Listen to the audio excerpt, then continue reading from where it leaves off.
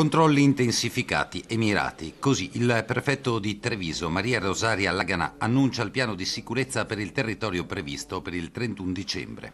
Italia nuovamente in zona rossa, particolare attenzione alle feste abusive in occasione dell'ultimo dell'anno. Qualsiasi diciamo così, imprudenza, eh, oltre che essere sanzionata, e verrà sanzionata in maniera assolutamente eh, dura, eh, comporta veramente un rischio per, per, per sé e per gli altri. A poche ore dalla fine dell'anno, un appello dalla Prefettura di Treviso anche alla prudenza nell'utilizzo dei fuochi d'artificio e dei botti. Raccomando una particolare cautela, specialmente in un anno in cui saremo tutti o molti insomma, costretti a casa casa un po' da soli, ecco, che non diventi un diversivo pericoloso, soprattutto lanciare cose dalle finestre, perché si rischiano gravi conseguenze fisiche, magari anche permanenti e oltretutto in questo momento abbiamo già una situazione degli ospedali, dei pronto soccorsi particolarmente critica, non è il caso di aggiungere danno al danno. Sarà un capodanno diverso dal solito. L'invito dalla prefettura è a mantenere la testa sulle spalle rimanendo prudenti nei comportamenti. Il fatto di stare bene, di poter festeggiare anche se in maniera intima con i propri familiari, credo che sia già una, per quest'anno un grande motivo di, di contentezza e anche di felicità.